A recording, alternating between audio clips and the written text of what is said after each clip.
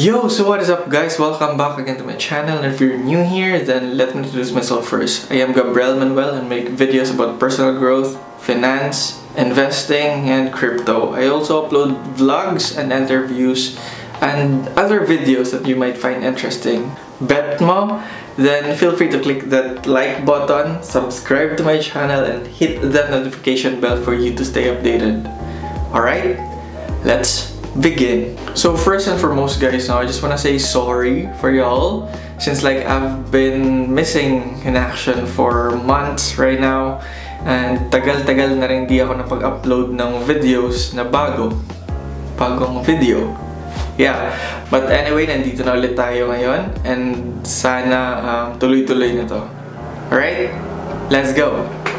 So I guess you guys know Kang Se or Seongge or Abdul Ali or Han Min Yo. I mean, I guess you guys know him and him and him and her and her and her and them, right? Yep. They are the characters of the latest South Korean hit Netflix series Squid Games. And we all know how this series trended and viewed worldwide, right?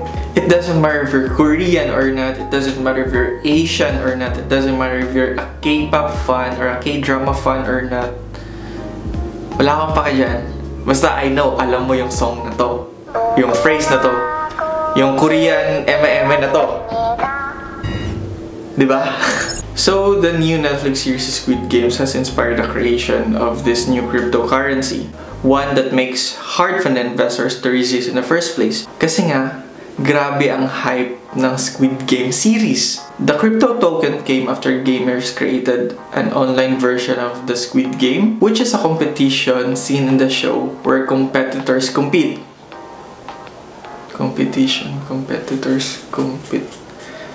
Yun nga, it's a competition where competitors compete. So, yung nilalaro nila ay yung childhood games na nakikita natin sa Netflix series na Squid Game. In order to play the online Squid Game, you first need to acquire the Squid cryptocurrency. I mean, just the same concept when you're playing Axie Infinity. Kailangan mong bumili ng SLP which stands for Smooth Love Potion and this token can be used para makabili ka ng creatures na gagamitin mo for you to play Axie Infinity. Gets? Okay, back to the Squid Game. Report says that the game is not available until November. But syempre, pwede ka nang bumili ng token niya in advance. So, one Squid Game cryptocurrency is around $0.01 last Tuesday. Then by Friday, a single token is around $4.39 na. It even reaches $2,800 in its all-time high last Sunday before crashing into $0.005 in a single red candlestick. Ouch. Indicating that what many thought inevitable happened. The game get rugged. A rug means the people behind it, usually the founders of the project, use a backdoor in the code. So this backdoor allows them to remove liquidity and take the profits with them. In layman's term, rug means the founder abandoned the project. Iniwan niya niya ito. As of this time, tokens, social media accounts, and its website already disappeared na. Wala na. Either you invest 100 pesos or 1 million pesos, wala na. If you invested in this cryptocurrency, then you were scammed. Okay, Gab, gets na naman na scam siya. So dahil Leonard, ba't nagtutok ka pa rin ng ganyan? Good point. Well, the main reason why I make videos like this is to educate people on how to properly invest and protect their hard-earned monies. Okay, so personally, I did not invest in this Squid coin since like, I know that this is a hype stock. I mean, wala namang masama sa hype stocks. Like, Duh! Meron akong Shiba Inu, meron akong Dogecoin, and all other hype stock coins na nasa portfolio ko. The difference lang is that according to reports, hindi mo pwedeng ibenta yung holdings mo na Squid Coin. Di ba fishy na yun? I mean, paano magsi-circulate yung coin kung in the first place you're not allowed to sell the coins?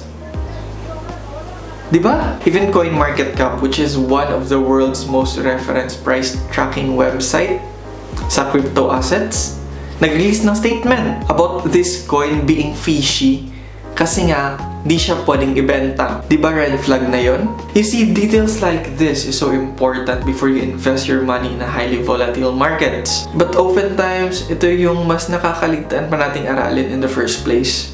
Kaya ikaw, oo ikaw, either you invested in a squid coin or not, I hope this will serve as a refresher to us to double check the companies na paglalagyan natin ng ating hard-earned monies, okay?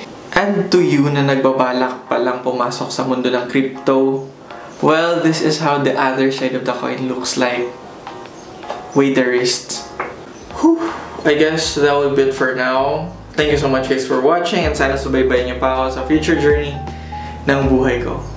Bye! God bless everyone! Oops! Wait, wait, wait, wait, wait. I'm so sorry guys ulit kasi nga missing in action tayo for the past months.